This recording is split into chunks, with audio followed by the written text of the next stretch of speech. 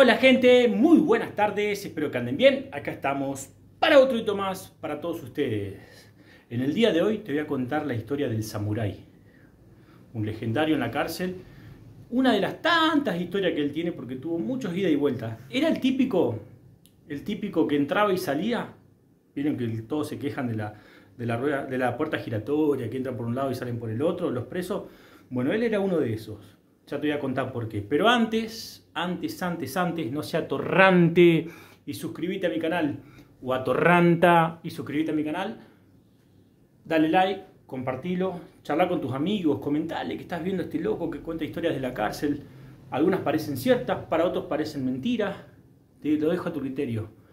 Pero si bien cuando todos dudaban de que Fernando Bunge estaba preso, que hacía videos tapado así, te subí hasta un video mío esposado entré a una celda, te pude, incluso hasta en las miniaturas me puedes encontrar a mí esposado, cómo era entrando a una celda, grabando con mi voz, entrando sin mostrar mi cara, obviamente, pues si no, ¿para qué me tapaba?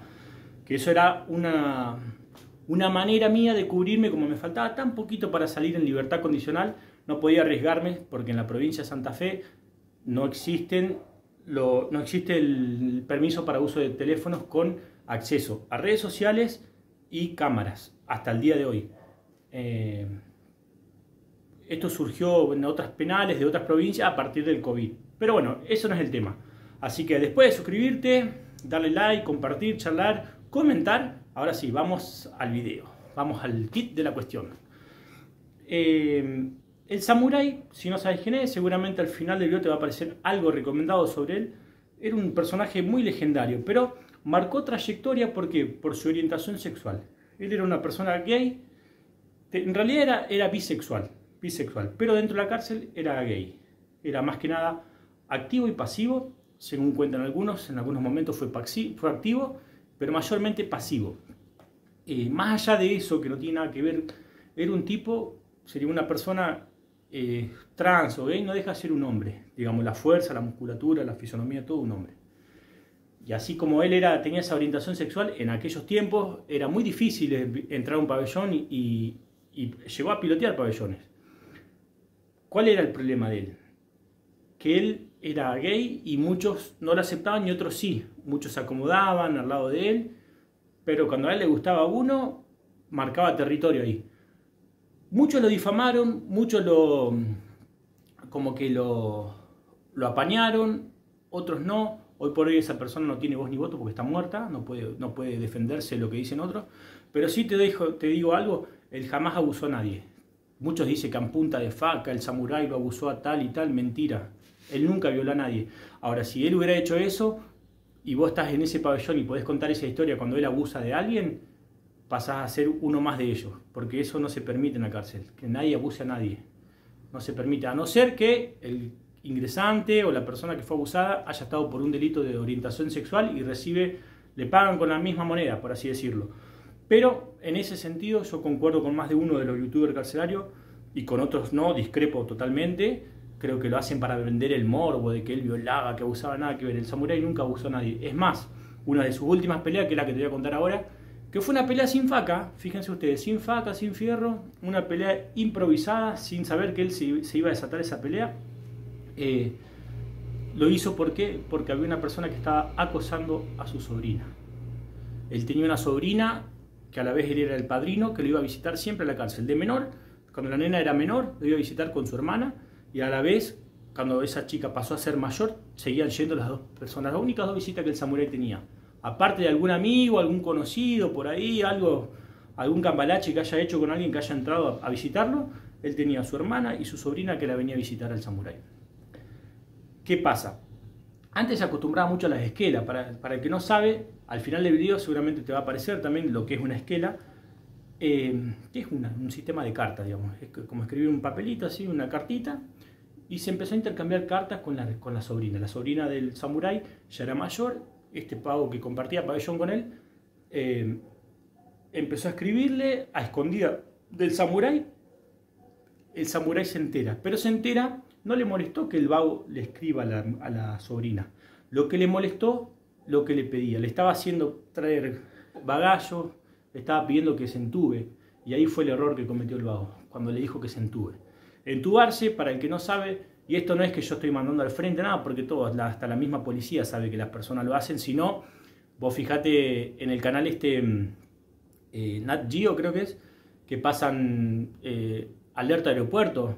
¿Por qué te pensás que escanean el cuerpo de la persona? Porque saben que vienen entubados, le decimos nosotros los, que estuvimos en la cárcel. Entubado quiere decir que en, algún en una parte íntima tuya, seas hombre o mujer, metes un preservativo con drogas adentro, pastilla o con algo ilegal que eh, necesita ser ingresado al penal a pedido de un preso. En este caso, el vago la quería hacer muliar, muliar quiere decir que le quiso hacer pasar drogas a la, a la sobrina y ahijada del, del samurái, y el samurái lo toma mal. Se enteró por qué a través de una esquela escrita por su misma sobrina a él, que ella no quería hacer, que se negaba, y el tipo le respondía que si ella no lo hacía, en la misma carta donde le solicitan no lo hacían, se olvide de ella. Y la nena estaba enamorada, una chica adolescente. Ustedes piensen que pasó de, los, de, ir de chica a la cárcel, fue creciendo, 18 años, fue, a, fue y se enamoró de otro preso, que tampoco era mucho mayor que ella, ojo, no era mucho mayor que ella, pero era un tipo curtido, un tipo que estaba usándola. Al samurái, como te repito, no le molestó que le, que le estén, por así, haciéndole bajar a la sobrina, y ahijada, sino que lo que molestó que el vago la quiere usar, la quiere hacer muliar, que eso está muy mal visto. Hay muchos presos que tienen ese vicio. Algunos mandan a la mujer a comprar droga por ahí, estando fuera de la cárcel, que tiene ese vicio porque no le da, no le da la nasta, o la locura que tienen, se sienten muy paranoico o se sienten que son por ahí eh, muy reconocidos, entonces no van a comprar falopa y mandan a la mujer. O también pasa que dentro de la cárcel hace que la mujer le ingrese drogas y eso está muy mal visto. No todo ahí, enseguida nomás te hacen causa de narco y ya te echan para afuera del pabellón. Si bien a todos les gusta fumar, les gusta fumar un porrito, o tomarse un par de pases, o, empastillarse, pero a nadie le gusta que, ah, no, ¿cómo hace esto? ¿Cómo hace que ingresen? que esto? que esto? ¿Me entienden? Por eso hay mujeres que se dedican a, pasar droga, que yo ya te lo voy a contar en otro video. Ahora sí, en un momento, volviendo al tema del video, el samurái va a bañarse. Pabellón de ducha, una ducha al la otra, se va a bañar e ingresa al, pabellón de ducha este compañero de él. En un descuido el samurái le, la agarra atrás a, traición, ¿sí? a traición, la agarra atrás y le, aplica una llave en el cuello donde lo asfixia, le corta la respiración y él lo da por muerto. Lo da por muerto, lo deja desvanecido el tipo, lo da por muerto, piensa que lo asfixió y lo mató. Se seca y se va caminando. Todo esto adelante de tres personas. Esas tres personas, ninguno, ninguno lo buchoneó frente a la policía. Pero ¿qué pasa? No fue necesario, ¿por qué? Porque el muerto no estaba muerto y ese fue el primer error del, samurái. El samurái pensó que lo había matado y la persona quedó viva. Entonces esta persona lo sacaron para sanidad, obviamente. La, la, guardia se dio cuenta porque en todos los pabellones de ducha hay una mirilla, hay una pared que tiene todo un blindex donde ellos miran qué pasa ahí adentro, inclusive es una seguridad para ellos cuando van a ingresar al pabellón a tomar asistencia o por lo que sea, miran que no haya nadie escondido, porque ellos gritan cerrando, cerrando, todos entran a su celda, pero puede haber alguien escondido en el pabellón de ducha, ¿me entienden? Entonces ellos a través de millas se aseguran que no haya nadie para que no los reduzcan y no tomen el pabellón o el penal. Eh, ven a esa persona desvanecida, cierran, cierran todo, gritan cerrando, cerrando un, rato antes del, del engome, ingresan, lo sacan a sanidad y resulta que la persona estaba viva, estaba desvanecida y, buscando, buscando, como que tuvo una sobrevida, no sé cómo explicarlo.